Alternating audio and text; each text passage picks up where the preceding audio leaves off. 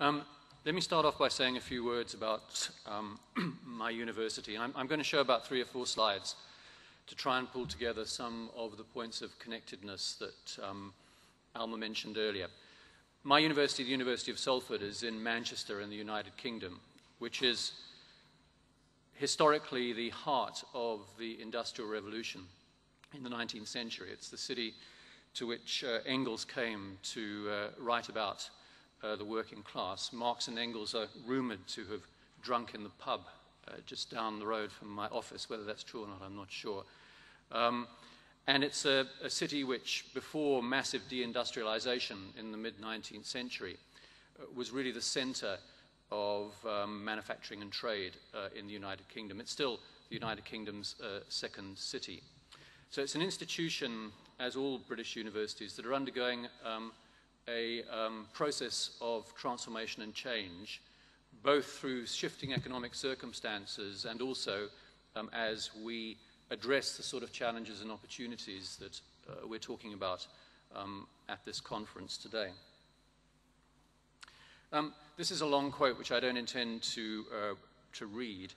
Uh, it's from Dominique Foray's uh, The Economics of Knowledge, which is a book that I found particularly helpful in thinking um, about my own views of this. But the, the point of it is that, and it's been mentioned several times, knowledge to me has very particular qualities uh, that make it very difficult to restrict in the sorts of ways that Stuart so effectively talked about in his review of copyright legislation. And a number of people have written about this uh, in different ways, but Foray makes the point that knowledge is difficult to contain. It has spillover effects. It has amplifying benefits. It benefits most and works best when it's not constrained, uh, when it's highly codified and disseminated and not locked behind toll gates and rents that restrict its distribution. And I think that's a key philosophy for me because reacting uh, and picking up on Alma's theme of the long walk back, what I think we'll find um, with the perspective of time is that the period uh, from the Bayh-Dole Act and similar moves in the United Kingdom in 1980 through to the present is actually an aberration in the history of uh, universities and not the beginning of a new trend. Universities, for me, fundamentally exist to share knowledge openly and not to restrict it and constrain it. And I think the last 30 years uh, have uh, been peculiar in the restrictions that have come about through the commercialization of knowledge, the introduction of rents and tolls, and other forms of restriction um, on copyright, which of course are far more extensive than just scholarly copyright uh, alone.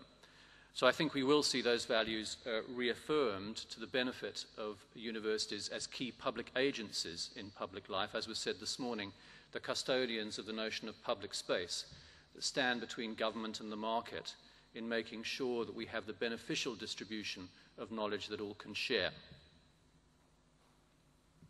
Um, this speaks to a, a, work in progress which usefully uh, helps me to organize my own thoughts um, about my own university.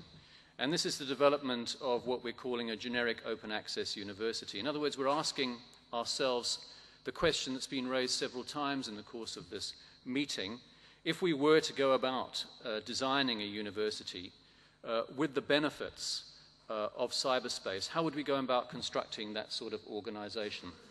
And here are some of the principles we would revert to the principles of open access, open learning, and open innovation as the key drivers of what makes a university work. At the core uh, of this concept of an open access university would be a, an open access repository, both digital and analog information. I make that point uh, uh, uh, uh quite forcibly um, because although um, open access is key to digital sources, and I'm going to come uh, back to that in a minute in the next slide and talking a little bit about how we've taken this forward. We also have to remember that there are hugely important analog sources of information in the world of scholarship and knowledge that also needed to be, need to be brought into the concept of openness. And of course, I'm obviously thinking here about the world of things, the collections, the objects, the manuscripts, the archives, the things for which we need to, to collect metadata the collections for which we still do not have interoperability for metadata that enables us to access them in the same open way. Core to this model of a generic open access university must be the notion of interpretation. intermediary structures that make sense of all of this information as we begin to attempt to communicate it outwards. And a final principle is that any university is um, a node um, in a massive uh, uh, collection of similar uh, organizations. There are around about 10,000 organizations in the world that credibly describe themselves as universities. They are, of course, interconnected with each other and always have been uh, through the work of the academic community. And the key driver to that principle, of that principle, to build on what Stuart said uh, just now, is that other great principle of academic life.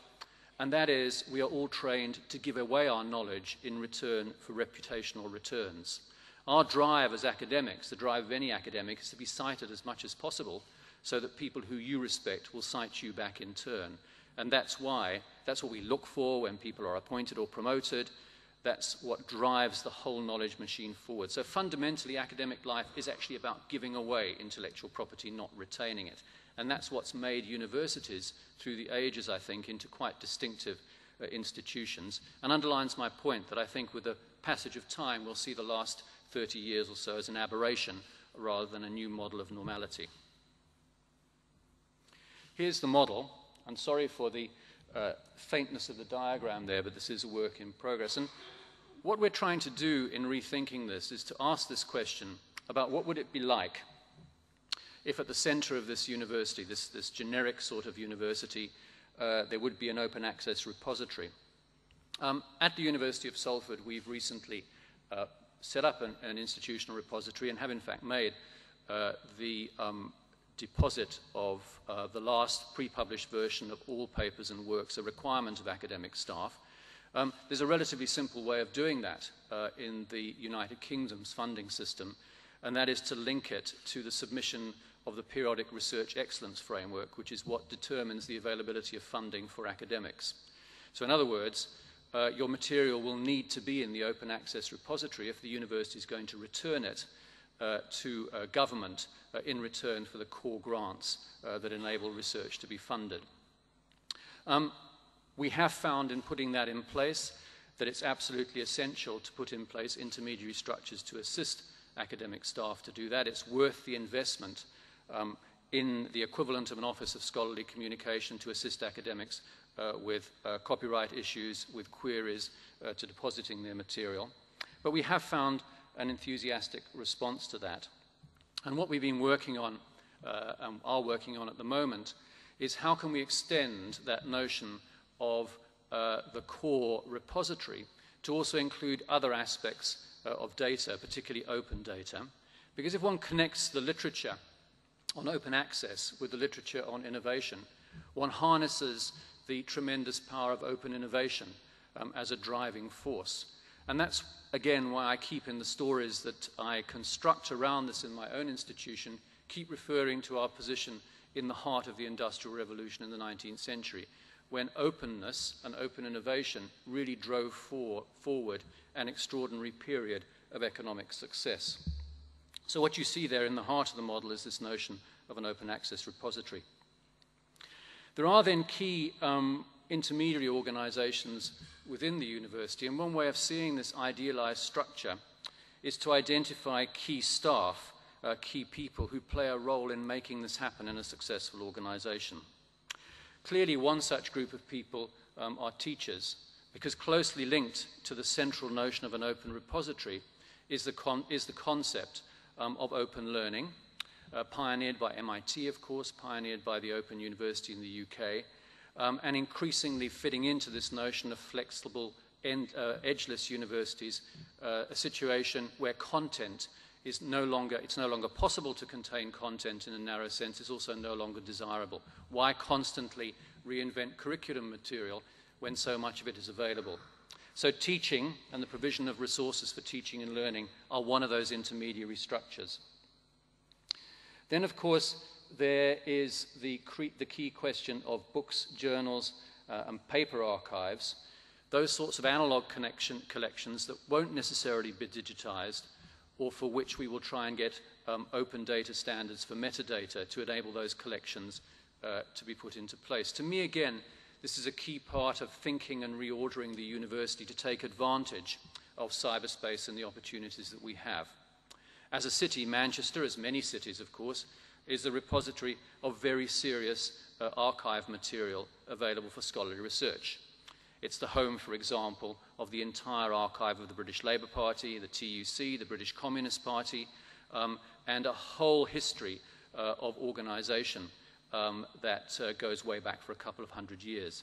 Now, these are essentially paper archives. The material they're, that they're presented on is a crucial part of their condition. They're not going to be effectively digitized, at least in our lifetimes, to be made available. What's missing with all of these connections are the metadata standards that enable them to be openly accessed um, by researchers wanting to drive on scholarship. So, again, bringing the notion of metadata for analog collections into this concept of the generic um, open access university is crucial. The other dimensions um, refer to the more conventionalized notions of an open repository, access to electronic journals, preprints of authors' papers and publications. One of the areas that I think we still have to tackle, um, and which I, a good deal of work still needs to be done on, are the appropriate protocols for open data. Uh, open data has particular demands of uh, ethics, for example, of at what particular stage data should be deposited and the control of that data. Now, again, my university has, on several counts, uh, the largest health science faculty in the United Kingdom, uh, and we play a very important role um, in the area of local public health. That means that the university is building up a very substantial record of epidemiological data, quite important to understand uh, health and well-being in a modern urban environment.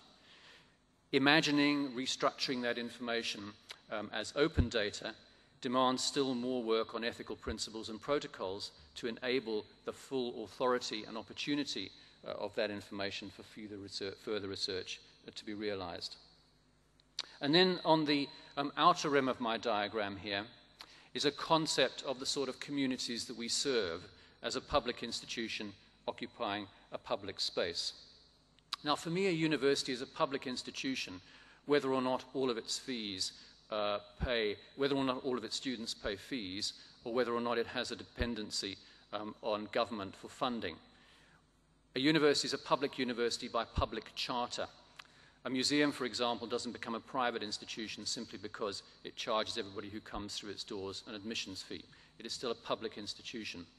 And the, the, the, the, Royal Chartered Universities, of which we're one, many in the UK, over 140, um, are key public institutions that occupy that space um, between the public sector and government. And what I've put up here is a notion of some of those sectors that the public university serves. Obviously, a general public sector, obviously, it's students, a private sector, and increasingly the so called third sector of NGO, civic organizations, many of which are organizing themselves around the new opportunities of cyberspace for different sorts of forms of civic organization. If you take the university out as an institution, if you were to take out those 10,000 institutions across the world that describe themselves as universities, you would have a massive institutional gap in terms of our concepts uh, of how the world of information can be put together and how the world of access can be put together. So, and this is my last slide, this model for the edgeless university I think it's useful to put up uh, generic concepts of what we would do if we were designing a new university. It becomes a benchmark, a standard for rethinking organizations, uh, the organization of our universities in the face of new opportunities and new constraints. This concept of an edgeless university looks to the realities of the present, uh, what we have got from cyberspace um, over the past 20 or so years, this unbounded notion of knowledge, unconstrained uh, by volume, unconstrained by time, unconstrained by space, the realization of open innovation, uh, the flowering of knowledge that can take off if those constraints are removed, and the huge possibilities of collaborative learning uh, that enabled us um, to um, enable us to work in different ways.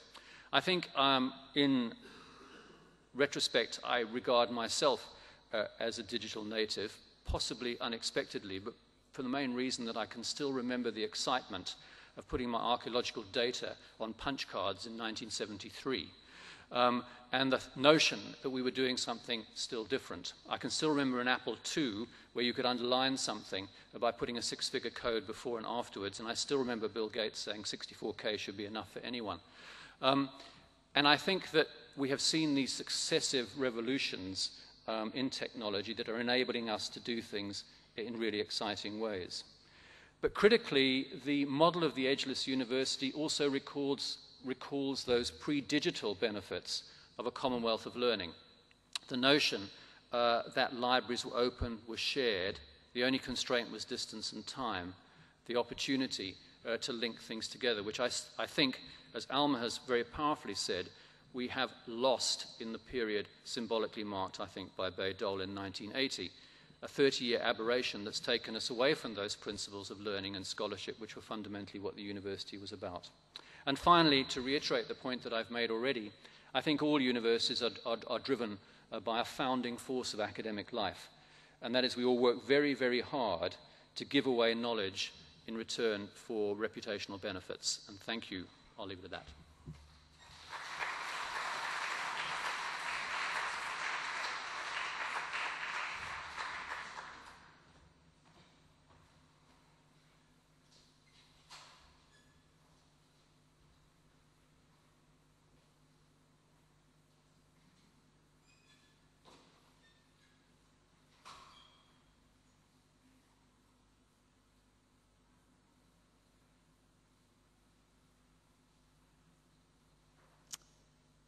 We did start a bit late and we have used our time, but we can take a couple of questions. Um, if you would like to ask one, could you say to whom you would like to address your question or to everybody if that is the case? Does anybody, uh, questions or even comments? No, everybody wants their tea and coffee. We flattened them. No questions? Yeah. We nearly got to our tea.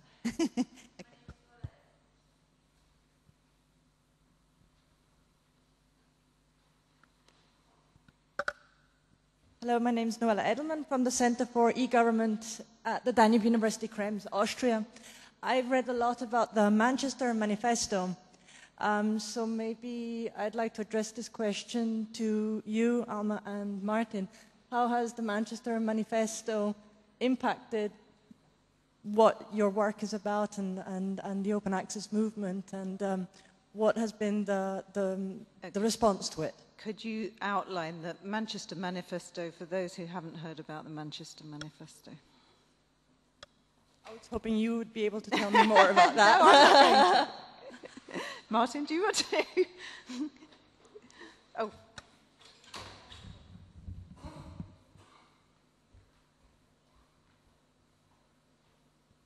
Well, the answer is it's made no impression at all um, because it hasn't in practice affected the, um, the policies that individual universities have followed in developing their future. And that speaks to one of the most severe difficulties that I think we have with, with taking the way forward, and that is that the way universities are pitched in a competitive environment with one another uh, rather than working in a collaborative frame. So I think a lot of the problems, I mean, and, and again, to situate it within the context of attempting to develop public policy in a city like Manchester, Manchester comprises 10 local authorities which are fairly constantly at war with each other, five universities which tend not to speak with each other because the funding systems force us into competition. And this generates a very significant number of manifestos and a very significant number of policy statements uh, but relatively little relationship between that and subsequent action. Yes, I, I, I think that the, the, the, model that we have at the moment in the United Kingdom in university funding is fundamentally wrong um, because government funds are used to encourage competitiveness between institutions, which goes back to the British equivalent of the Bayh-Dole philosophy, primarily to Margaret Thatcher's government and the, constant, the, the concept of third stream income we have very little incentive for deep collaboration. We have a lot of incentive for shallow policy making.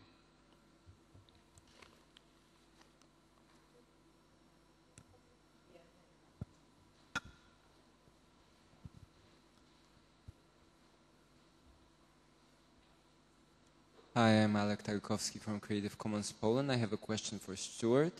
Um, you described a model where you shift the um, sort of the effort of the lazy scientists to that single moment where they vote on an open access mandate. So how do you achieve a situation where, as far as I understand, they voted um, anonymously for it, right? Yes. Was, it, was that in, in case of Harvard easy?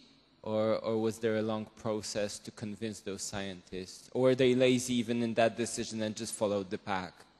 Or you? Or Oh, oh, somebody turned it on. So, no, no, it's on. It's on.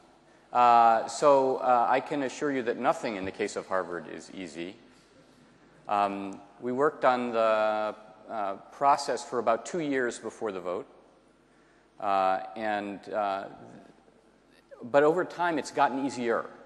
So, it was about a two year process before preparing for the FAS vote roughly similar for the law school. Uh, now we're down to maybe a year or so. There's a lot of variation. Part of it is because things move very slowly. Uh, you have to schedule. There's a lot of time spent uh, uh, meeting with all kinds of constituencies within the organization just to make sure everyone understands what the policy is. The, when you first uh, say to faculty, um, here's what we're going to do we're going to have this vote, and you're going to grant rights to the university for your articles. There's an initial um, uh, um, kind of shock to the faculty member system. This can't possibly be a good thing. Uh, so you have to, it takes a while to get everybody to understand what's really going on and that you're still retaining the choice of whether or not this license will occur and so forth It takes a long time. You have to talk to a lot of people. And, uh, but now that we've done it over and over again, uh, there starts to be a process where when you talk to the nth school and you can say, look, n minus one schools have already done this and it's, you know, it's not, things haven't fallen apart. It becomes a little bit, a little bit easier.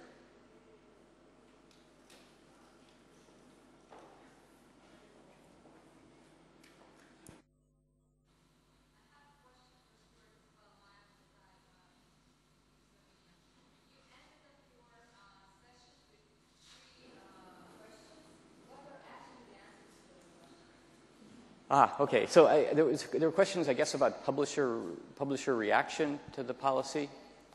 Uh, um, the, uh, there's been a very broad range of reactions. So there, there are, uh, uh for, for, uh, we'll go from the most negative to the most positive. So from the most negative, there's a small set of publishers who uh, are um,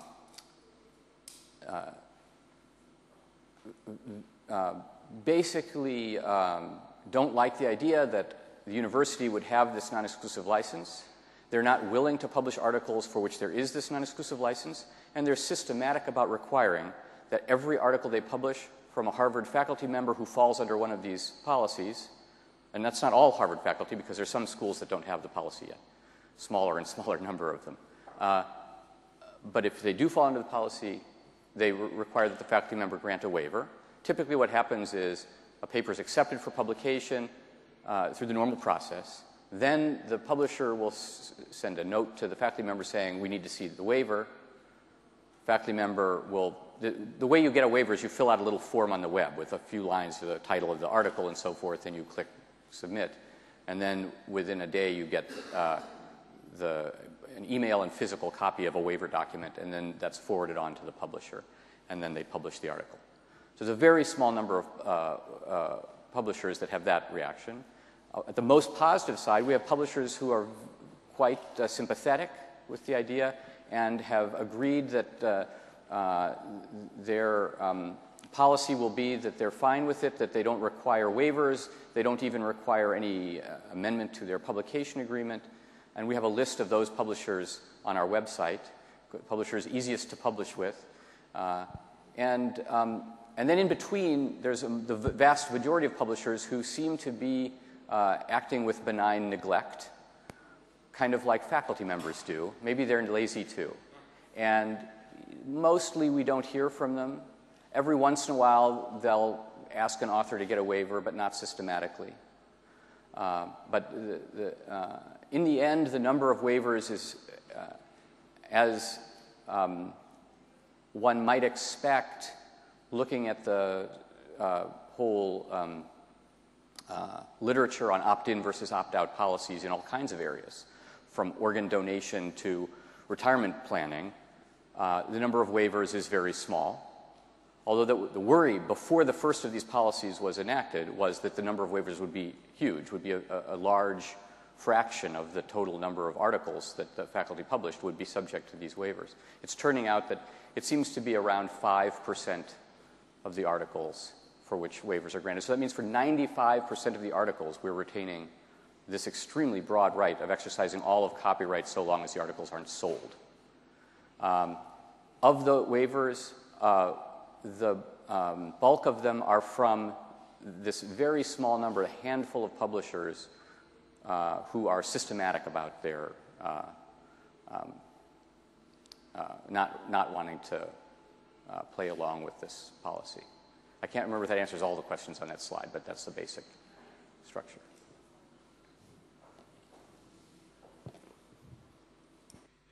Thank you again to Alma Swan and all the other panelists. Thank you. And uh, please, uh, we will start again sharp at 4.25. Thank you.